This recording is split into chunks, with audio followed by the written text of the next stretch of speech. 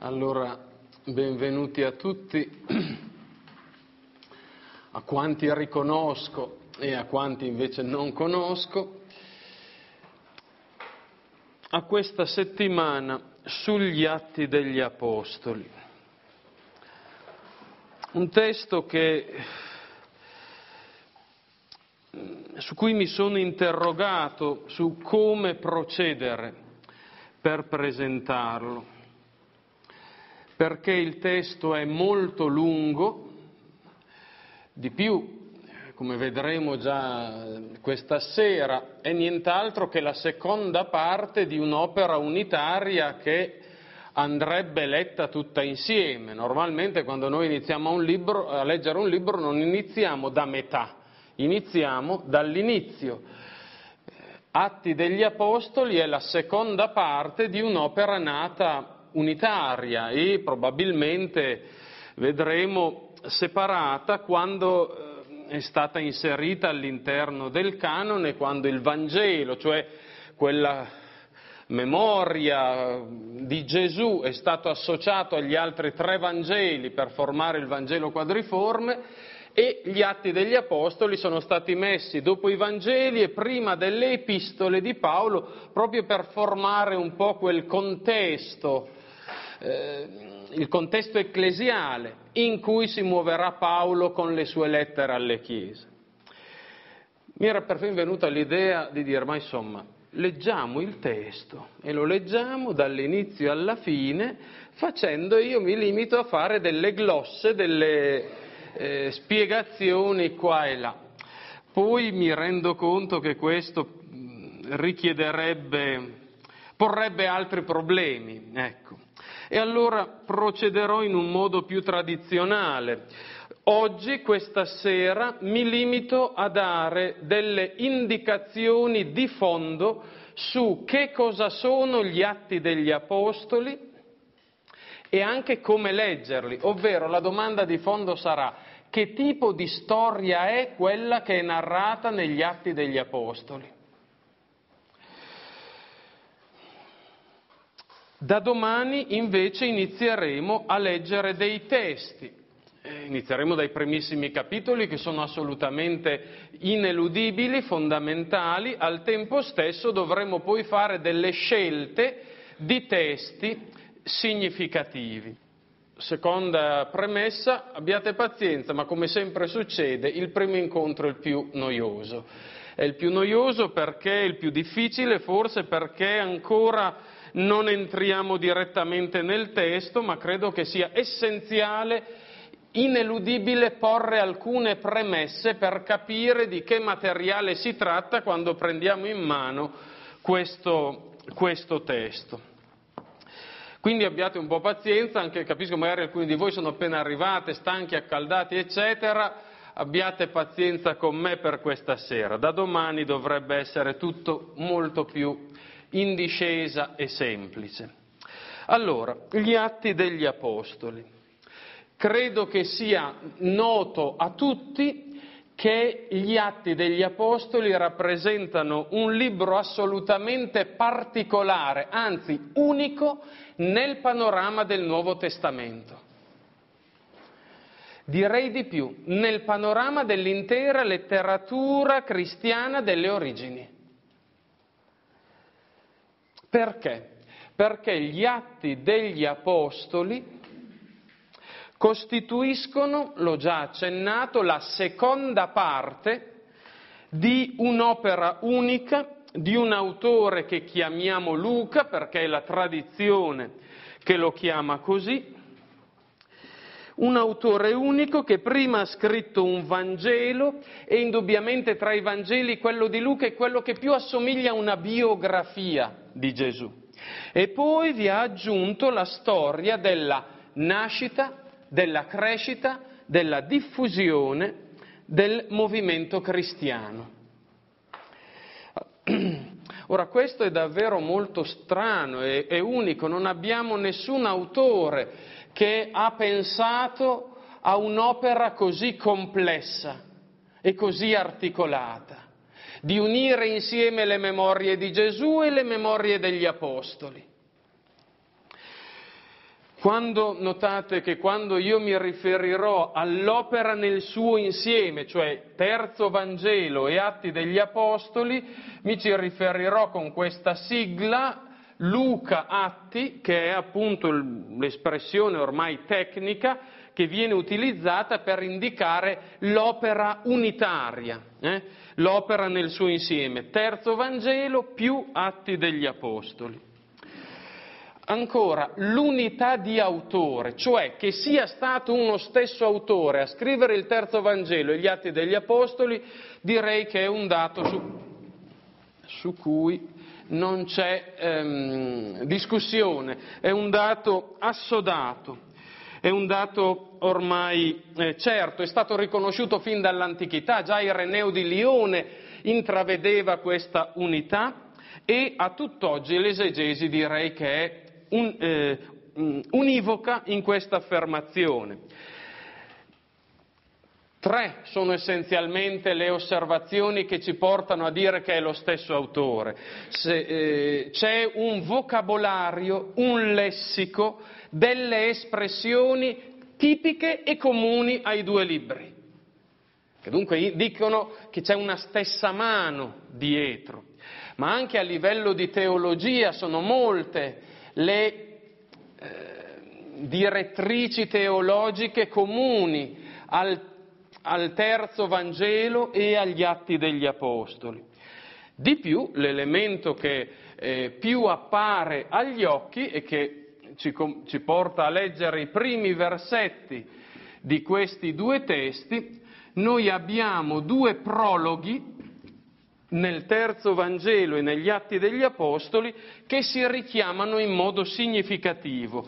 Leggiamo Atti 1, 1, 3, in cui si dice nel mio primo libro, qui tra, leggo dalla traduzione della CEI, anche se poi ogni tanto dovremo fare delle, dice, delle, dei cambiamenti, nel mio primo libro ho già trattato, o Teofilo, di tutto quello che Gesù fece e insegnò da principio, fino al giorno in cui, dopo aver, ricev- eh, dopo aver dato istruzioni agli apostoli che si era scelto nello Spirito Santo, egli fu assunto in cielo. Egli si mostrò a essi vivo dopo la sua passione con molte prove, apparendo loro per 40 giorni e parlando del regno di Dio. Qui traduce ad esempio già nel mio primo libro, in realtà in greco si parla di logos, nel mio primo discorso, nella mia prima letteralmente parola, dunque nella, se vogliamo nella prima parte del mio discorso ho trattato di ciò che Gesù ha detto e fatto, fino alla ascensione al cielo. È interessante questa operazione con cui Luca unisce gli atti, cioè la vicenda del cristianesimo nascente, delle comunità cristiane, al Vangelo come testimonianza di ciò che Gesù fece e disse. Fece e insegnò, perché questo significa che la Chiesa ha un costitutivo fondamento cristologico. È lì che lei nasce come luogo, ambito e spazio in cui rivive e risuona ciò che Gesù ha detto e ha fatto, ovviamente ormai per il tramite della testimonianza degli apostoli, per il tramite degli apostoli costituiti testimoni, eh? proprio come dirà subito dopo il capitolo 1, versetto 8 degli Atti degli Apostoli, costituiti testimoni del Cristo risorto dallo Spirito Santo. Ma riandiamo al, alla prima parte dunque del discorso lucano, in Luca 1, i versetti 1-4. E leggo il prologo del primo Vangelo poiché molti hanno posto mano a stendere un racconto degli avvenimenti che si sono compiuti tra di noi, eh? non è semplicemente successi tra di noi come traduce la CE, si tratta di un compimento di una profezia, di una promessa. C'è sempre dietro l'idea per Luca, in, nel Vangelo come negli Atti, di un disegno di Dio, di una storia di salvezza che si sta compiendo. E appunto poiché molti hanno posto mano a stendere un racconto degli avvenimenti che si sono compiuti tra di noi, come ce li hanno trasmessi coloro che ne furono testimoni fin da principio e divennero servi della parola, così anch'io ho deciso di fare, attenzione, ricerche accurate su ogni circostanza fin dagli inizi e di scriverne per te un resoconto ordinato, o illustre Teofilo, perché ti possa rendere conto della solidità degli insegnamenti che hai ricevuto. È chiarissimo la, la, dire, l'unità di stile, di terminologia, c'è uno stesso destinatario a cui questa opera viene eh, dedicata, questo illustre Teofilo, e insomma questo è un altro indizio che dice che Atti degli Apostoli e eh, Terzo Vangelo hanno un unico autore. Insomma, solo Luca, questo è uno degli aspetti veramente più straordinari mm, di, del, di, questo autore, ve lo ripeto proprio perché noi facciamo fatica a entrare in queste, in queste percezioni e a capire in che cosa consista questa straordinarietà. Solo Luca ha scritto appunto un Evangelo, ripeto un Evangelo molto simile, il più simile tra i Vangeli a una biografia e una storia apostolica. Nessuno dopo di lui l'ha fatto, è l'unico. In questo Luca che cosa ha fatto? Riflettiamoci un po'. Ha messo insieme la memoria di Gesù e la memoria degli Apostoli. Beh, come ha scritto l'esegeta Barrett, di cui tra l'altro è uscito proprio adesso in italiano in due grossi volumi il commento agli atti, ha scritto un primo Nuovo Testamento in miniatura. Luca ha avuto quella intuizione che sarà eh, ratificata dal canone neotestamentario. Quando il canone neotestamentario ci consegnerà quattro Vangeli che contengono le memorie appunto di Gesù e poi ci consegnerà tutto, tutto, il corpus delle lettere degli Apostoli e in particolare di Paolo, e in particolare dell'Apostolo delle genti. È, è, è proprio eh, Luca che ha fondato questo principio Evangelion, Evangelo più to apostolicon, l'apostolo, eh, che è la struttura fondamentale, la, la, la, come si dice, lo scheletro, l'impalcatura del Nuovo Testamento. Di più potremmo andare anche oltre. La genialità di, pa- di, scusate, di Luca è di aver accostato praticamente Gesù e Paolo che non si sono mai incrociati eh, storicamente, non si sono mai incrociati eh, eh, mentre Gesù era vivo. Egli ha saputo legare Gesù e Paolo, che sono davvero due, le due figure, i due elementi strutturanti e che tengono in piedi il Nuovo Testamento, senza voler sminuire gli altri evidentemente, ma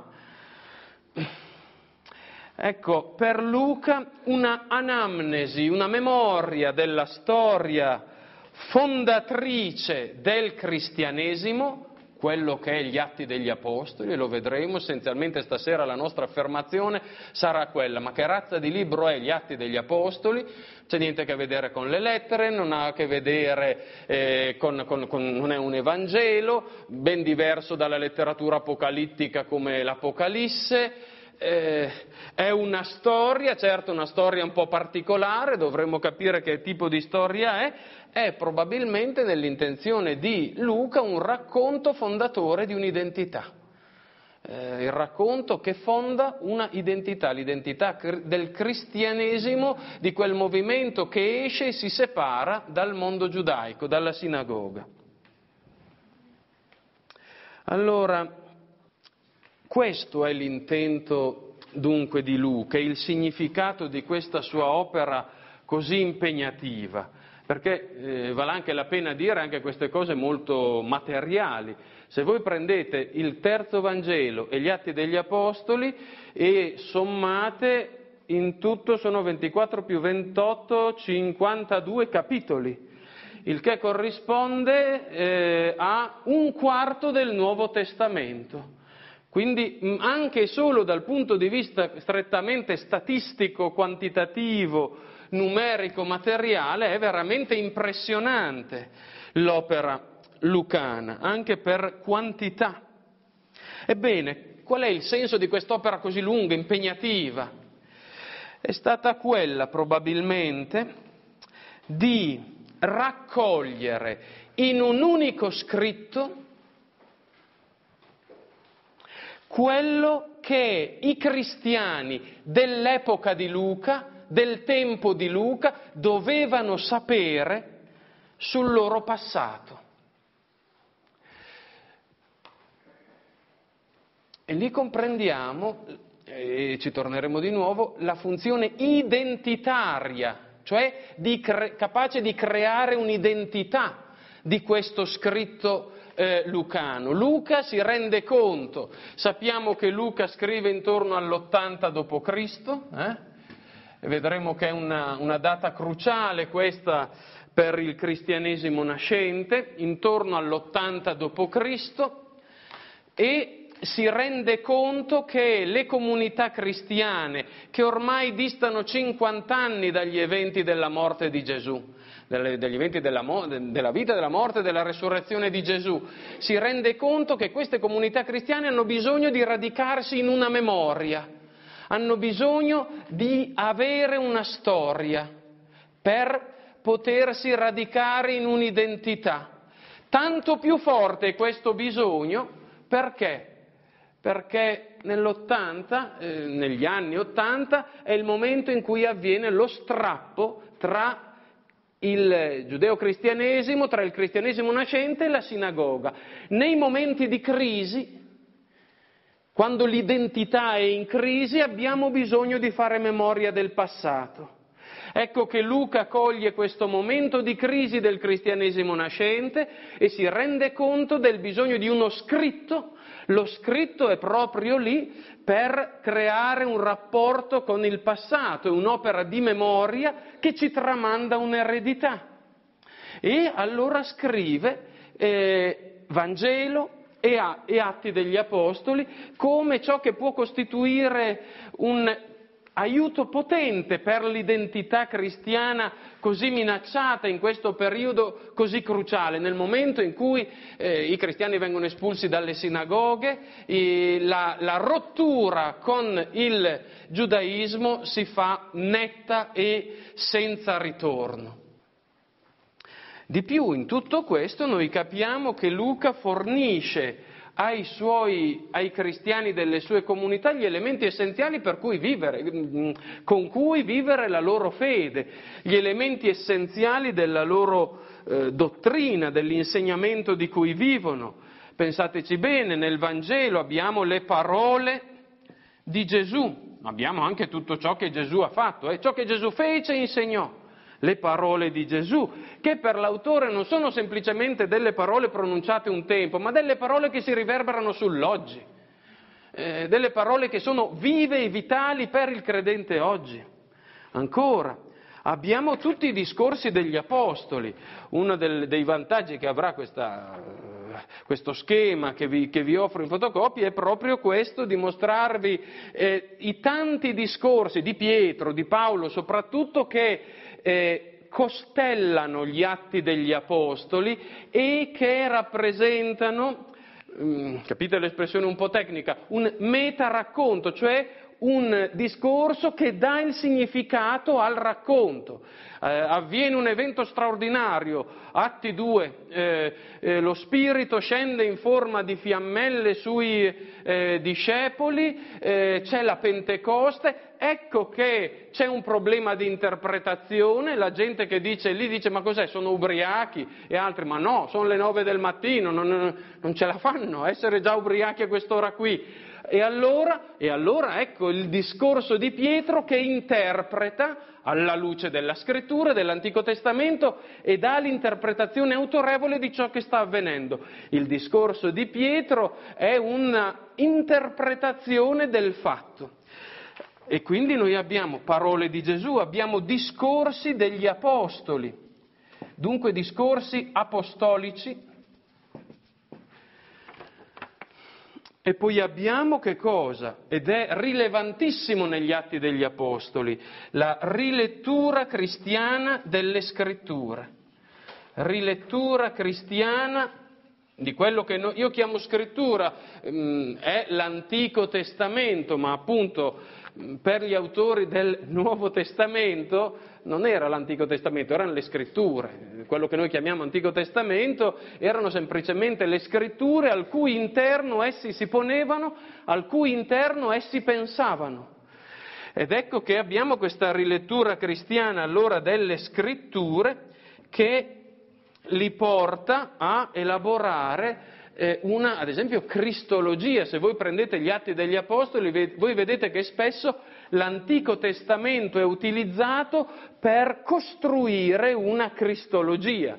Eh, il Salmo, che ne so io, il Salmo 2 viene, eh, che era un salmo messianico in origine, usato per l'intronizzazione regale del Messia, viene applicato e riferito alla morte e resurrezione di Cristo e così via.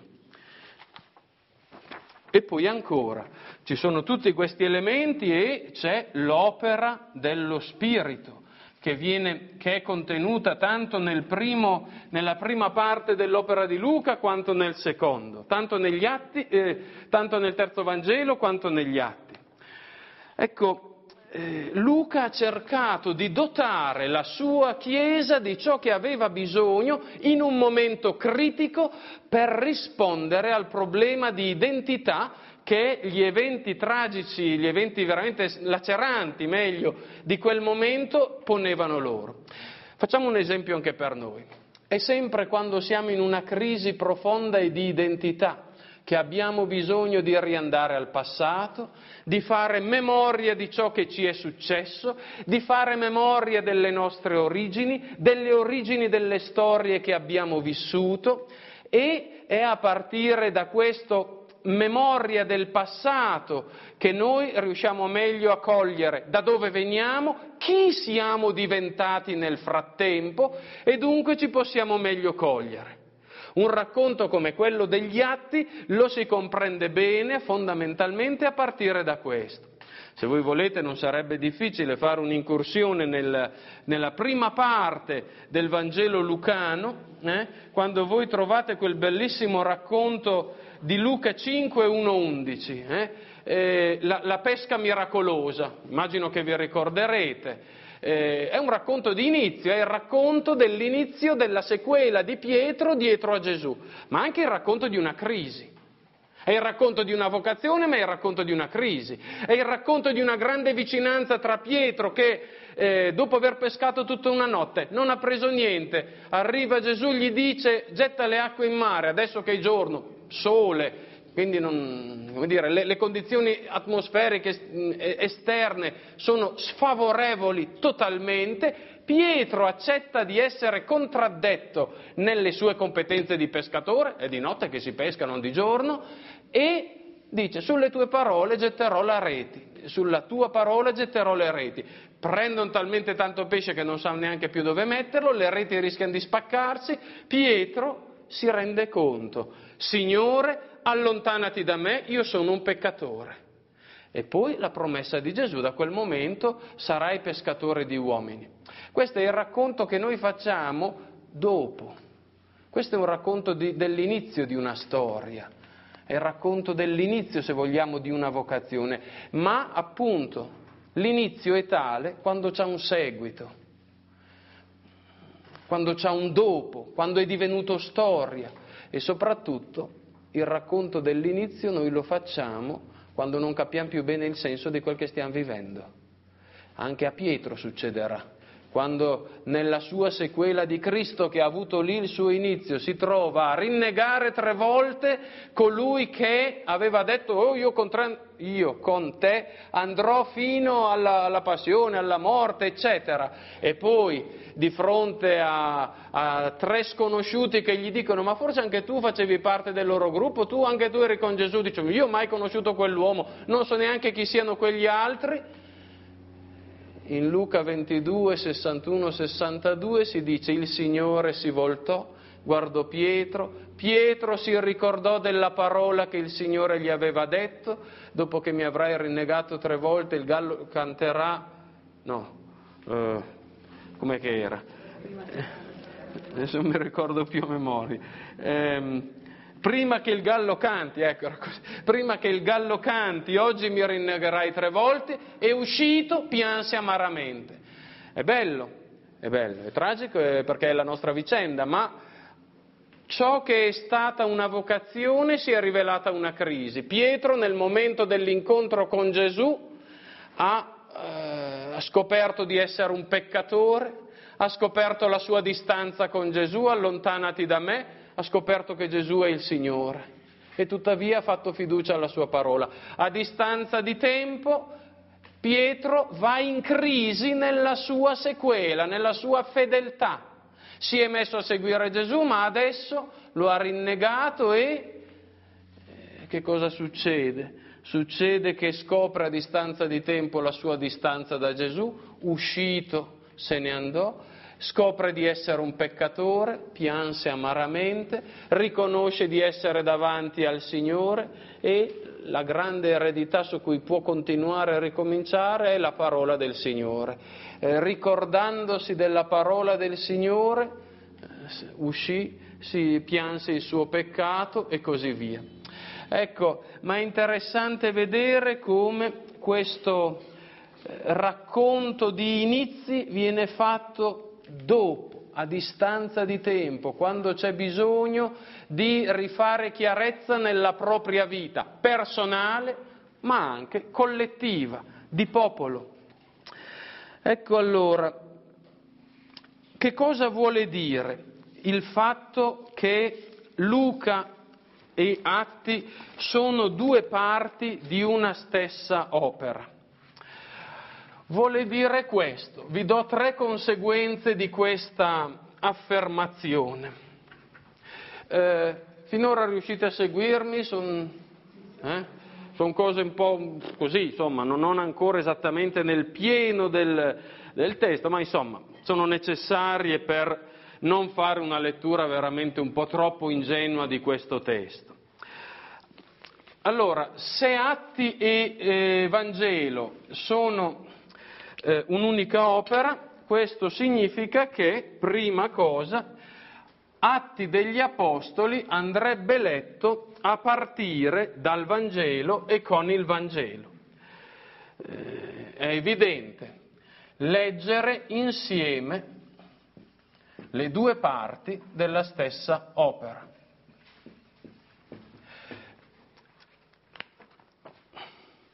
Moltissime sono, leggendo gli atti degli Apostoli, perché poi noi cioè, dobbiamo limitare a questo, ho già fatto molte volte il Vangelo di Luca e, e anche per quello che quest'anno mi sono deciso a leggere la, la seconda parte.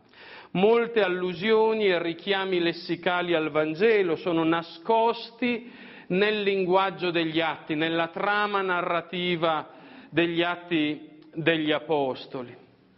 Eh, se voi leggete ad esempio il testo di Atti 3, 1-10, beh, anzi facciamo così, lo leggiamo, cominciamo a andare un pochettino nel testo e in uno degli episodi di guarigione che gli apostoli operano. Uno dei significati di questo innesto degli, degli atti, quindi della storia ecclesiale nell'Evangelo, cioè nella vita di Gesù, è che i discepoli sono chiamati a fare che cosa nella storia? Quel che ha fatto Gesù. Questo nella sua elementarità, se ci pensate, avrebbe delle ripercussioni straordinarie per la Chiesa, oggi e sempre. Cosa ci sta a fare la Chiesa? Che non è una domanda malposta o maldestra o provocatoria. Che cosa ci sta a fare la Chiesa? La Chiesa è lì per testimoniare, un termine carissimo a Luca, a, Luca ehm, a testimoniare la presenza del Cristo, ovvero a proseguire nella povera carne di quei poveri uomini che sono gli apostoli e poi gli evangelizzatori e poi i cristiani e poi noi, eh, è, è chiamata a continuare ciò che ha fatto e detto Gesù Cristo. Come Gesù in Luca 24 ha spiegato la parola di Dio ai discepoli di Emmaus, ecco Atti 8, eh, Atti 8 eh, Filippo che spiega la scrittura all'eunuco etiope. Eh, qui, Atti 3, versetti 1-10, abbiamo una guarigione. Si dice, un giorno Pietro e Giovanni salivano al Tempio per la preghiera verso le tre del pomeriggio. Di solito veniva portato stor- un uomo storpio fin dalla nascita, lo ponevano ogni giorno presso la porta del Tempio detta Bella a chiedere l'elemosina a coloro che entravano nel Tempio. Questi, vedendo Pietro e Giovanni che stavano per entrare nel Tempio, domandò loro l'elemosina. Allora Pietro fissò lo sguardo su di lui insieme a Giovanni e disse, guarda verso di noi. Ed egli si volse verso di loro, aspettandosi di ricevere qualcosa. Ma Pietro gli disse, non possiedo né argento né oro, ma quello che ho te lo do, nel nome di Gesù Cristo il Nazareno cammina. E presolo per la mano destra lo sollevò. Notate che questa è una simbolica di resurrezione. Di colpo i suoi piedi e le caviglie si rinvigorirono e balzato in piedi camminava, entrò con loro nel tempio camminando, saltando e lodando Dio, tutto il popolo lo vide camminare e lodare Dio e riconoscevano che era quello che sedeva a chiedere l'elemosina alla porta bella del tempio ed erano meravigliati e stupiti per quello che gli era accaduto. Ma per capire in profondità che cos'è avvenuto occorrerebbe leggere questo testo alla luce anche di Luca, il capitolo 5, i versetti dal 17 al 26, dove c'è un'altra guarigione di un paralitico, non sto a rileggere tutto il testo, ma in cui viene portato anche qui un paralitico a Gesù ed è Gesù che a un certo punto dice le stesse parole che la eh, pronuncia l'Apostolo sul malato. Eh, alzati e cammina. Ed è interessante questo, se le stesse parole che ha pronunciato Gesù le pronuncia l'Apostolo, questo non significa semplicemente, eh, questo che cosa significa? Significa in verità che nell'Apostolo che guarisce, nell'Apostolo che compie questa guarigione, agisce la potenza stessa di Cristo, tanto che si dice nel nome di Gesù Cristo alzati e cammina. Eh? E lo vedremo, spero questa sera, è uno degli assi teologici che traversa gli atti degli Apostoli, la potenza della resurrezione che agisce nella storia. Ecco, non sarebbe difficile vedere la quantità degli echi e delle risonanze tra atti degli Apostoli e Vangelo. Prendete ad esempio, come altro esempio, la morte di Stefano e la morte di Gesù. Ma lo vedremo quando ci arriviamo. Eh, la morte di Stefano è eh, imitazione della morte di Gesù e del resto è già la teologia di Luca. La morte di Gesù una, in certo modo è imitabile. E non a caso l'autore eh, mm, degli atti descrive la morte di eh, Stefano con una serie di richiami assolut- che, eh, assolutamente eh, forti e pregnanti a ciò che Gesù ha detto e fatto quando lui è morto. Ancora, seconda elementare eh, asser- eh, conseguenza che deriva dal fatto che Luca Atti sono un, un'unica opera, vi dicevo è un'opera molto lunga ed è una narrazione. Luca è un grande narratore che ci ha lasciato un grande, un grande anche lungo racconto. Come emerge il senso in un racconto? Non siamo in una lettera, non è un trattato teologico, non è neanche una comunicazione di fede o nella fede a una comunità eh, particolare come si dice il senso in una narrazione. E beh, bisogna essere attenti alla costruzione del racconto. Quindi la seconda cosa che vi sottolineo è il fatto che vi è una narrazione e il senso di una narrazione emerge attraverso la costruzione del racconto,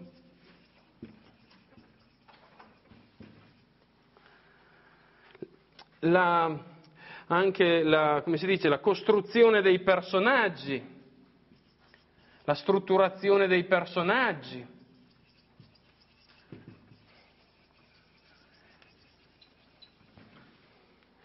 la gestione del tempo e dello spazio. Che cosa vuole dire questo? Vuole dire che, eh, dire, che il, eh, l'autore eh, affida alla narrazione e ai dettagli, agli elementi che inserisce nella narrazione il compito di svelare il senso. Il lettore cosa dovrà fare? Leggere, leggere, leggere e rileggere, lasciarsi trasportare, entrare nel racconto. Del resto leggere significa arrivare a respirare con il ritmo del racconto, entrarvi dentro, lasciarsene portare. Ma l'autore non starà a dirci questo è il senso di quello che eh, Pietro ha fatto, ovvero non è un teologo sistematico, non, non, è altro. Eh, di fronte eh, un architetto non starà a dire ho fatto questo perché, ma affiderà allo sguardo intelligente che discerne del, del, del, di chi guarda il compito di capire che a partire da come ha disposto gli spazi, i volumi, eccetera, ha cercato di dare certi significati alla sua opera. E infine, terzo elemento, gli atti ci narrano le origini del movimento cristiano. Sono la prima storia del cristianesimo, come ha titolato eh, Daniel Marguerat il suo ottimo, il suo eccellente studio sugli atti degli apostoli. La prima storia del cristianesimo, non Eusebio di Cesarea è il primo storico del cristianesimo, ma Luca. Ed è un inizio che nasce da dove? Interessante questo. Nasce dal, dall'ascensione. È un elemento che troviamo alla fine del, quarto, eh, del terzo Vangelo e all'inizio degli Atti. Ma l'ascensione è una separazione, l'ascensione è una assenza. Il Cristo fisicamente non è più presente negli atti, eppure questa assenza, questo vuoto, questa morte, crea una vita. Voi siete testimoni e c'è questa assunzione di responsabilità dei discepoli, dolorosa, come è dolorosa ogni nascita. Voi siete testimoni, eh? potremmo dire che questo è il programma degli atti degli Apostoli. Eh, Atti 1, versetto 8, veramente questa è la frase che vi dà il programma di tutti gli atti degli Apostoli. Avrete forza dallo Spirito Santo che scenderà su di voi e mi sarete testimoni a Gerusalemme, in tutta la Giudea e la Samaria e fino agli estremi confini della terra. Gli atti degli Apostoli iniziano a Gerusalemme, passano in Giudea, arrivano in Samaria, capitolo ottavo siamo in Samaria, e arrivano fino a Roma. Non penso che per Luca Roma sia gli estremi confini della terra, c'è, una, dire, c'è un'ulteriorità nella lettera ai Romani gli sognava di andare anche in Spagna, ma certamente nel mondo dell'epoca Roma era il caput mundi, era un po' il centro del mondo stesso. Ma appunto questo è il testo, direi, chiave, il testo programmatico dell'intero, dell'intero atto degli Apostoli. Dalla ascensione, dall'assenza fisica di Gesù nasce, possono nascere tante cose da un'assenza un lutto, un lutto che non si arriva a, elaborare, a chiudere, eh, una nostalgia che obbliga a vivere come ostaggio del proprio passato, eh, può nascere una responsabilità di quel vuoto, in quel vuoto io entro come testimone, non, non dimenticando, anzi, chi è il testimone? Il testimone è colui a cui è successo qualche cosa e vive segnato da ciò che gli è successo. Il testimone giuridicamente è colui che ha visto o sa delle cose e dunque le può dire, ma il testimone è colui che vede ormai la sua vita segnata da un evento, un incontro. E io oserei dire che per il Nuovo Testamento il testimone non è tanto come a volte mi sembra lo si comprenda un po' nelle nostre pratiche più ruspanti ecclesiali, colui che fa la sua testimonianza e dice quel che lui ha fatto e detto, eccetera, eccetera, una sorta quasi di esibizionismo o protagonismo, ma è colui che suscita domande nell'altro a partire dalla qualità della sua vita, a partire da quello che lui vive, sente, dice ed è, soprattutto, suscita domande nell'altro, non è neanche colui che va a eh, come dire, a porre questioni a, è colui che vivendo suscita nell'altro una domanda. Quel bellissimo testo della prima lettera di Pietro ce lo dice, in 1 Pietro 3:15, siate sempre pronti a rispondere a chiunque vi chieda conto della speranza che è in voi. Pronti a rispondere, quindi con una responsabilità della speranza che è in voi. Ma appunto, sono gli altri a chiedere. Il testimone è colui che è fedele al suo mandato, cerca di vivere l'Evangelo, cerca di essere quel che deve essere, cerca di essere se stesso, un cristiano fedele. E questo susciterà la domanda dell'altro. Notate, a volte eh, si divide gli atti degli apostoli in due parti. Si dice, beh, innanzitutto noi continuiamo a dire atti degli apostoli, letteralmente il titolo sarebbe atti di apostoli, eh, ma anche perché essenzialmente, anche se ci sono diversi apostoli, sono poi Pietro e Paolo le due figure cardine degli atti. E allora c'è chi suddivide gli atti degli apostoli in sostanzialmente due parti, atti 1-12 come atti di Pietro e atti 13-28 come atti di Paolo. Io credo che non abbia senso questa, questa divisione per più motivi, che non è precisa, le cose devono avere una certa precisione, è innegabile che c'è una maggior rilevanza di Pietro nei capitoli 1-12 e una presenza preponderante di Paolo dopo, però è pur vero che già nel capitolo 9 noi abbiamo un prima racconto della vocazione di Paolo ed è vero che più che atti di Pietro in questi capitoli 1-12 si narra delle origini della Chiesa attorno a Pietro e al gruppo dei discepoli relativizzerei questa, questa centralità e comunque credo che eh, sia troppo schematica e non, non fedele a quella che è la narrazione lucana. Ancora, quello che Luca vuole narrare è proprio queste origini del movimento cristiano eh, eh, e nei, nei, primi dodici capitoli c'è indubbiamente Pietro, ma c'è anche un nucleo di apostoli, così come attorno anche a Paolo ci saranno altri collaboratori apostoli. Grande domanda, che genere letterario è gli atti degli apostoli? Qui ci sono le due cose più difficili che dobbiamo dire oggi. E spero che riusciamo a farlo in modo semplice, anche perché se, se risolviamo queste cose dopo il resto sarà tutto più facile. Io allora sono state proposte una quantità di ipotesi sul genere letterario degli atti degli apostoli una agiografia, una eh, apologia, un romanzo e così via.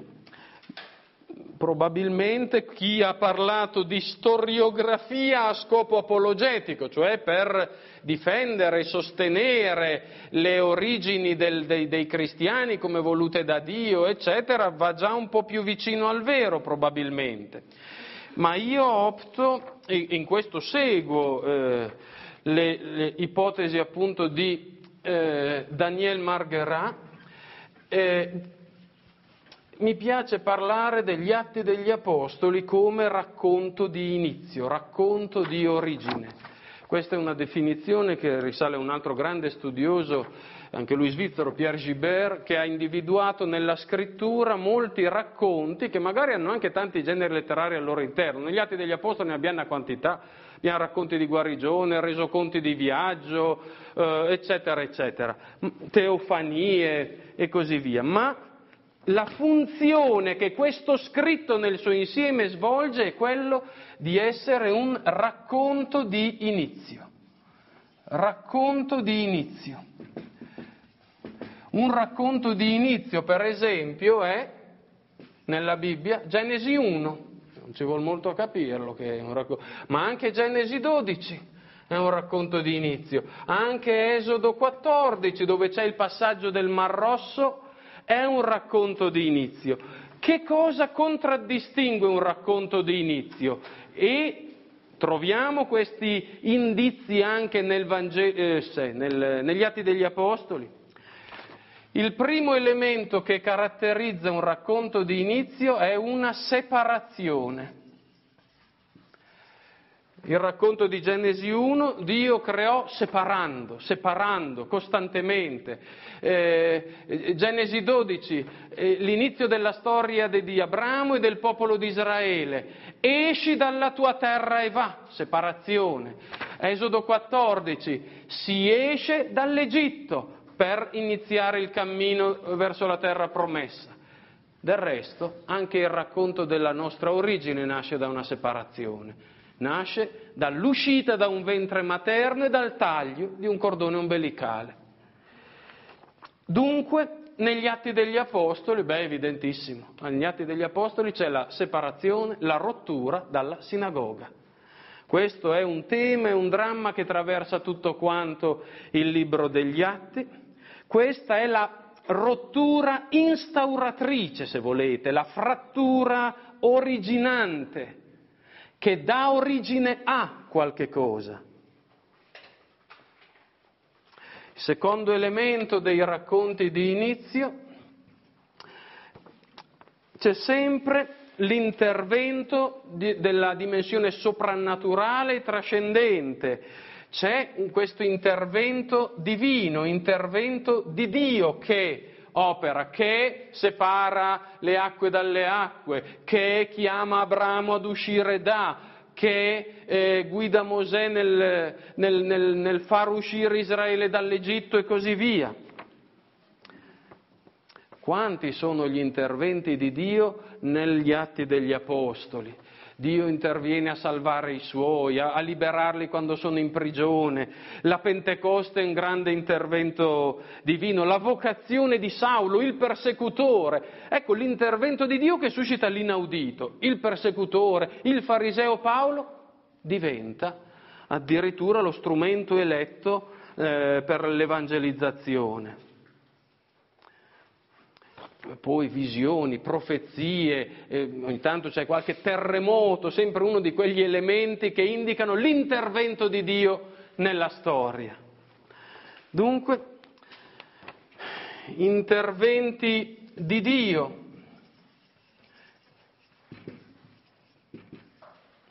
che operano questa separazione e che guidano la storia. Terzo elemento, un racconto di inizio normalmente non narra la storia di un singolo. Se anche si interessa di un individuo, come ad esempio in Genesi 12 c'è la chiamata di Abramo, in verità intravede già una collettività, un popolo.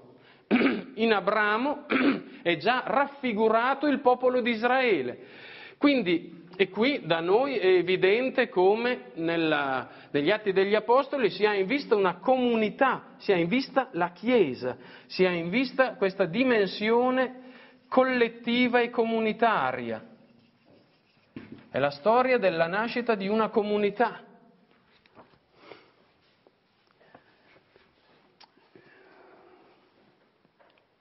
Ed è la storia di una identità collettiva che viene è narrata.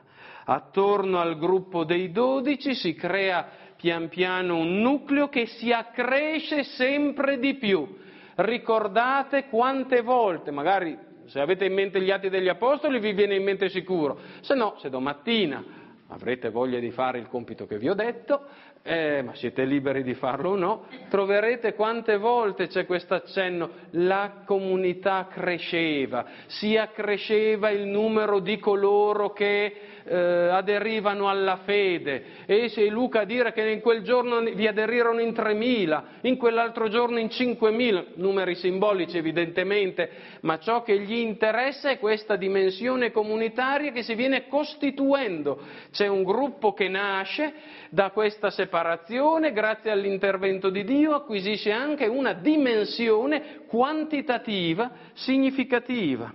C'è la crescita di un popolo. Quarto elemento, beh, la situazione che si crea con questa rottura iniziale ha un aspetto di novità. C'è una novità che si presenta. Qui si pone tutto lo spinoso problema del rapporto negli atti tra, se vogliamo, Chiesa e Israele, ma che possiamo già adesso sintetizzare nelle, nelle sue grandi linee. Comunque, Luca sottolinea che è sempre e solo in dialogo, se vogliamo anche in discussione, anche in eh, dibattito aspro con il giudaismo, con la sinagoga, che la Chiesa si sviluppa e arriva a crescere e a acquisire la sua identità, la sua novità. Ma questa continuità la vedremo, questa continuità Luca la ribadisce ancora al capitolo 28, l'ultimo, l'ultimissimo. Per lui è evidente che eh, c'è una rottura con Israele, ma rottura non significa dimenticare quello che c'era prima. Io posso anche dire che, se anche sono nato disgraziatamente quasi 50 anni fa, eh, tuttavia eh, l'origine da cui sono nato, i genitori, eh, certamente sono molto distanti da me oggi e tuttavia quell'origine è in me è in me. È un'origine perduta, i miei genitori non ci sono più, e tuttavia quella origine continua evidentemente ad abitarmi. Chi, e certo c'è tutto il discorso di che cosa sono diventato io, e chiunque di noi, tra l'origine e l'oggi. È così anche tutto sommato per sinagoga, eh, chiesa in rapporto alla sinagoga. Certo, questa continuità lascia spazio a una novità che è assolutamente evidente. La estensione della salvezza a tutte le genti, ai non giudei, l'apertura dell'alleanza ai pagani, la dislocazione di fatto del centro da Gerusalemme a Roma, dice di uno spostamento eh, che rende il movimento religioso che sta nascendo molto diverso dalla sinagoga. Lì c'è una novità evidente nel gruppo che sta uscendo dalla, eh, dalla sinagoga, dal giudaismo. Un, un, quinto elemento, forse un po' più difficile da cogliersi, ma insomma è importante farne un, appena un accenno. Questo evento, questa separazione, eccetera, è comprensibile mediante il rimando a un'origine ultima, un'origine ultima che in definitiva è Dio. Ma Luca ci dice che tutto questo, diciamo così, che sta nel disegno di Dio, è, eh, si traduce in due, diciamo così, matrici di senso, diciamo così, eh, che Luca utilizza per scrivere gli atti degli Apostoli, ovvero il suo, primo, il, il suo Vangelo e la scrittura, cioè l'Antico Testamento secondo i 70, l'Antico Testamento greco, cioè quello dovuto alla traduzione dei cosiddetti 70. Che cosa vuole dire questo? Che Luca, facendo tanti riferimenti più o meno impliciti, eh, lui non dice mai guardate che qui, guarda lettura che io sto citando il Vangelo, suppone che il lettore eh, conosca, sappia fare questa ginnastica dalla, dagli atti al Vangelo. E a volte invece no, appare evidente allusioni, riferimenti, citazioni dirette dell'Antico Testamento che vogliono spiegare ciò che sta avvenendo e dunque i vari fatti specifici, ma poi soprattutto l'evento divino che accade e che porta eh, questa, a, a verificarsi di questa separazione al nascere e crescere della Chiesa come frutto della parola di Cristo e della parola di Dio. Per ben capire ciò che avviene, paradossalmente il credente deve radicarsi nella scrittura, deve entrare anche lui nella scrittura. Eh, il, il, Vangelo, ma soprattutto la scrittura, l'Antico Testamento sono una sorta di antecedente sia storico che letterario mh, che aiuta il lettore a comprendere teologicamente ciò che avviene. Ciò che avviene non è un semplice fatto sociologico, è un evento di Dio, è un evento della storia di salvezza. Questo interessa a Luca. Ovvio, l'ultimo elemento, che questa, tutto questo produce una posterità, cioè nel racconto di inizio eh, ciò che ha un inizio ha anche un futuro, ovviamente. Eh, E questo direi che si estende, lo vediamo appunto nel crescere della comunità cristiana negli Atti degli Apostoli, ma oserei dire lo vediamo anche nei destinatari del libro. Anche loro fanno parte di, questo, di questa posterità.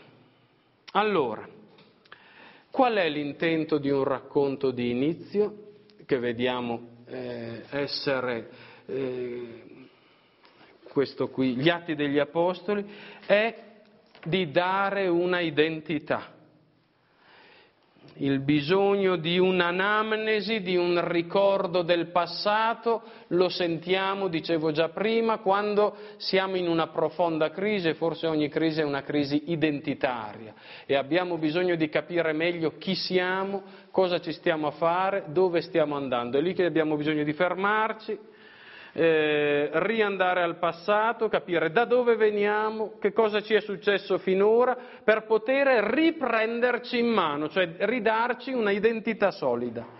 E questo avviene appunto nel momento della crisi, quel momento dell'80 d.C., quando la separazione con la sinagoga avviene in modo lacerante, Ecco allora che Luca scrive queste cose cercando di rispondere a queste domande. Da dove viene la comunità cristiana? Dove? Come nasce? E così facendo egli, come tutta la storiografia biblica, ma direi in buona parte anche quella dell'antichità, risponde, mentre fa storia, risponde a un bisogno dell'oggi, a un bisogno mio oggi.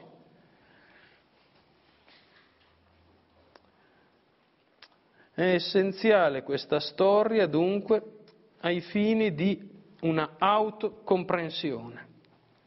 Allora gli atti, in quanto racconto di inizio, ha una valenza identitaria. Eh, viene fondata, vengono aiutati i destinatari a radicarsi in una identità, in una memoria. Diciamo ancora una cosa, almeno sul rapporto Chiesa-Israele, una delle grandi tematiche di nuovo che attraversano gli atti ed è uno dei temi più spinosi. Eh? Eh, e anche qui bisogna stare attenti perché i vari scritti neotestamentari ci offrono prospettive diverse. Non pensiate che il Nuovo Testamento ci offra organicamente un'unica soluzione, un'unica visione, un'unica pista. Ci sono eh, espressioni ben diversificate di questo rapporto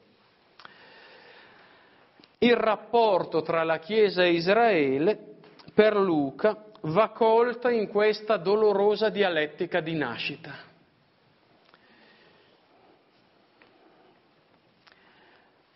È come se anche le comunità cristiane si chiedono da chi esco, da dove sgorgo, da, da dove vengo, qual è la mia origine, ma anche a un certo punto, è quello che si chiedono nell'80 d.C., Dopo tanti anni ormai, chi sono diventato a partire dalla mia origine?